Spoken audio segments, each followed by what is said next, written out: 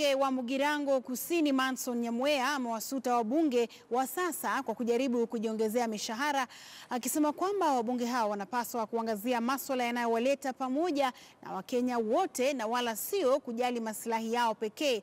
Alizungumza mapema hii leo huko Kisii. Parliament want to increase their salaries, they should be ashamed. This is not time for them to talk of salary increment.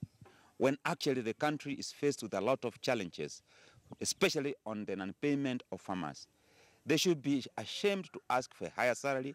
They should first and foremost work, put effort to ensure that the farmers are paid.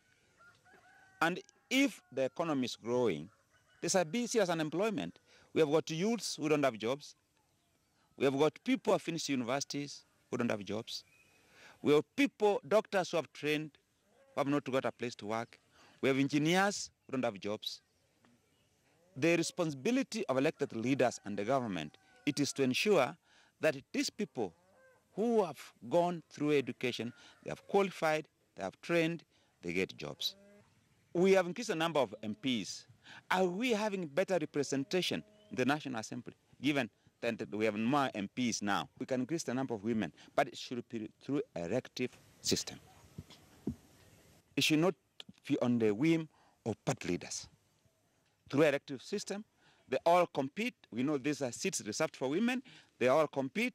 The winner becomes the leader. And the person could have earned the position by being elected by all of us who are the voters in that particular area. They can give it any name they can give it. But we need these women to be elected, not to be nominated. Na mtazamaji, tupate mapumziko mafupi na kisha